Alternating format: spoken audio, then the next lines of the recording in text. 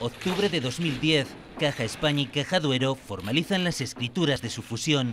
Entre los firmantes, Santos Llamas, presidente de Caja España, un cargo que en ese momento podría estar desempeñando de forma ilegal.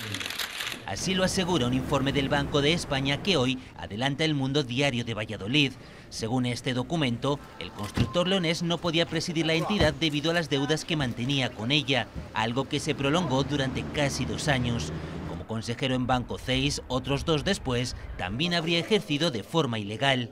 El informe, que analiza créditos de Caja España y Caja Duero a llamas por valor de 76,7 millones de euros, destaca también que hasta el 80% de estas operaciones eran de riesgo y sin embargo no se completaban así. Los datos al completo están ya en manos de la justicia forman parte de las diligencias previas abiertas tras las denuncias de Izquierda Unida y el Ministerio Público por un presunto delito de administración desleal.